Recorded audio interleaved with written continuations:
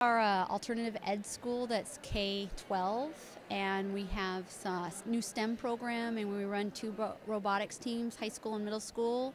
And then we have a lot of younger programming like Scratch and Kodu and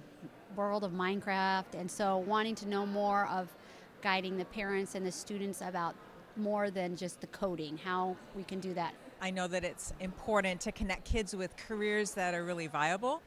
and I needed to have a better understanding of what those careers might look like and how to connect them from where they are now to um, to ultimately that career. As I work with students and I see, um, especially uh, the girls I work with, just being a little discouraged uh, with math and computers, I think it's a, a real need to encourage them to be in that field.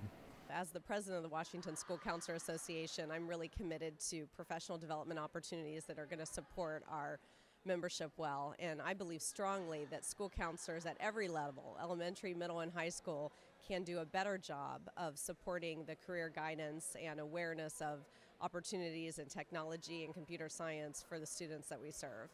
Well, I chose to come to Counselors for Computing because I am in a new role at my high school. We just funded a full time career and college readiness counselor position, which is fabulous. So I felt like as a counselor, I had basic surface knowledge of things because you're so busy doing so many other things. But now, as a career and college readiness counselor, I have the opportunity and the time to be able to delve really deeply into what it is my students are interested in and how I can get them connected to resources in our community and outside of our community. Also, have an opportunity to look at ways that I can better engage my students, both female, of course, because that's what this is a little bit about, but also just in general, because I'm always looking for ways to get students interested in their future pathways and get them thinking really carefully about what it is that I want to do because then they can figure out where is it I need to go to do that. And so this just seemed like a, a phenomenal opportunity, and I am so excited I came. I'm just so inspired by everything I'm hearing,